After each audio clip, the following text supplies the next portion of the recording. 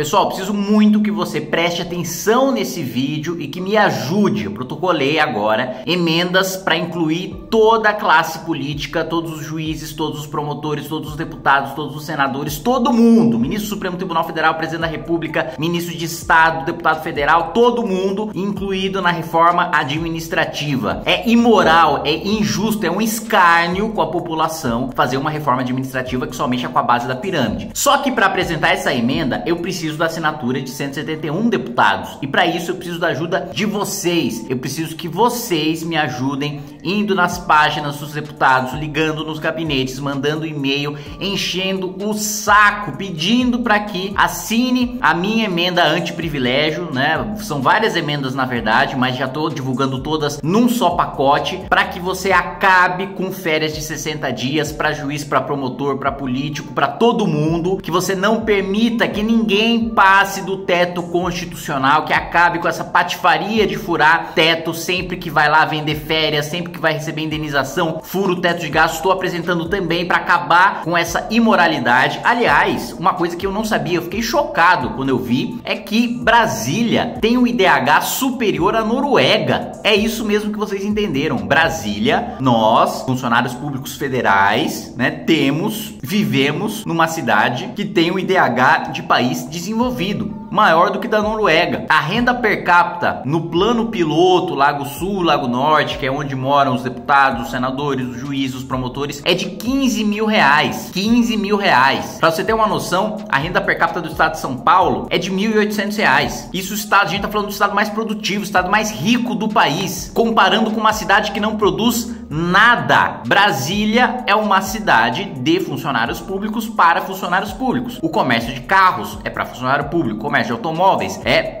para funcionários públicos. Comércio de casas é para funcionários públicos. Comércio de iates é para funcionários públicos. Todo o comércio de Brasília é voltado para atender a elite do funcionalismo público. E quem paga essa conta é você. Desculpa ficar enchendo o saco falando sempre sobre reforma administrativa. Ah, quem você só fala de reforma administrativa é porque o principal problema do país é folha de pagamento do servidor. O principal problema do país, se falta dinheiro em algum lugar, se falta investimento em algum lugar, se o imposto tá caro demais, tá pesado demais, se a gente penaliza, se a gente criminaliza o empresário, é porque a gente paga muito para poucos funcionários públicos que estão em Brasília, nessa ilha de fantasia onde não tem crise, não existe boleto, não existe preocupação. É uma cidade que não precisava ter dificuldade nenhuma e como não teve durante a pandemia, não teve quebradeira em Brasília, não teve gente indo embora das suas casas, não teve gente endividada, nada disso, pelo contrário. Gente da iniciativa privada que perdeu dinheiro durante a pandemia tá vendendo coisa pra gente de Brasília, que manteve o seu cargo, que manteve muitas vezes carreiras, que em 5 anos você já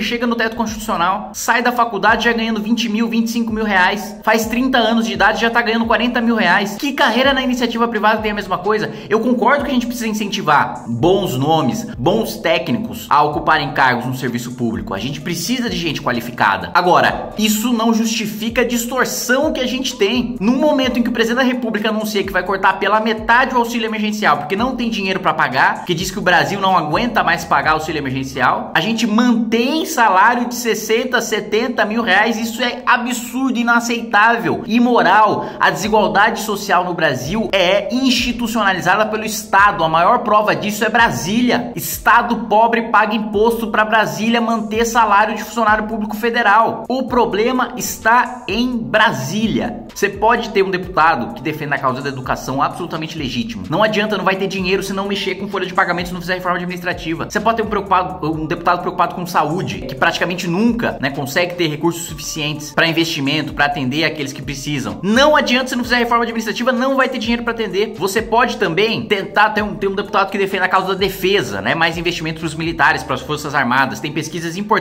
sendo conduzidas pelas Forças Armadas até. Planejo no ano que vem, quando terminar essa pandemia, visitar ali submarinos, visitar projetos militares para mostrar para vocês as maravilhas que estão sendo pesquisadas pelas nossas Forças Armadas. Não adianta se não vai ter orçamento. E não vai ter orçamento por causa da folha de pagamento de servidores públicos, em regra, os servidores públicos federais. E também incluindo os juízes é, estaduais, né, os juízes de direito, né, os promotores de justiça. Precisamos incluir. Se a gente não incluir agora, quando tá tendo uma discussão de reforma administrativa, quando vai ter outra discussão sobre reforma administrativa? Se a gente só mexer na base da pirâmide agora, se a gente só mexer para os concursos públicos futuros e mantiver todos os privilégios que existem agora, não existe direito adquirido sobre privilégio. Direito adquirido a férias de 60 dias, não existe. Direito adquirido a super salário, isso não existe. Direito adquirido a vender as férias e ter o super salário vendendo as férias, isso não existe. Não existe um ordenamento jurídico nenhum do mundo. Direito adquirido a privilégio. Isso é imoral, isso é irracional, isso afunda o nosso país, faz com que a gente tenha a maior carga tributária da América Latina, uma das maiores de países em desenvolvimento e tire dinheiro do pobre para dar pro mais rico. A gente corta o auxílio emergencial pela metade, o presidente da República deixa de pagar 600 para pagar 300, perde a oportunidade de fazer um programa social robusto e permanente de imposto de renda negativo,